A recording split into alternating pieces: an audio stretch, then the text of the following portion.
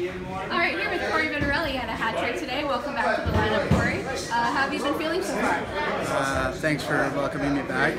Uh, not too bad. I mean, it's nice to be back with the guys, and it's always fun to play in the summer with a lot of the guys you grow up with and some of the new guys that come in from of town. So it's, it's just good to be back. Yeah, and playing Cobourg, there was even more guys that you would have known in the lineup. Uh, a couple young guys, yeah, not too acquainted with, but yeah, some familiar faces that kind of got the roots and ties to Peter Peterborough.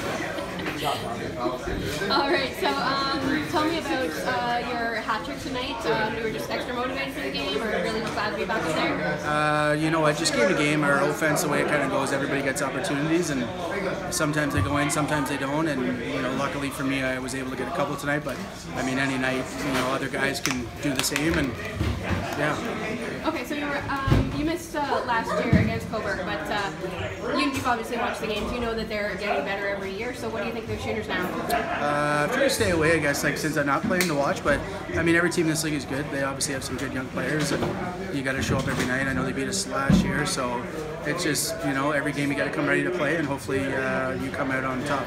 And a big test against Oakville on Thursday. What do you expect out of that one? Uh, just another tough game. There's no easy games in the summer, and they're a good team. They're big, they're strong, and they have some good offensive players. So just a tough, close game.